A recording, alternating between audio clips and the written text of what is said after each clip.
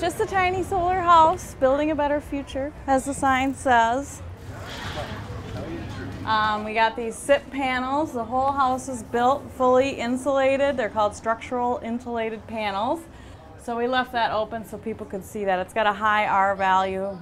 Technically, we probably shouldn't need a lot of heat, but um, you can feel the heat coming in right now from the solar air heat panel. It's just kind of a The solar tube or the sun tunnel. Um, it's a tubular daylighting device, lets a lot of light in here. Um, all the windows are super insulated windows, so they have a high R value as well. Um, the bedroom is upstairs. There would be a ladder if it wasn't the state fair.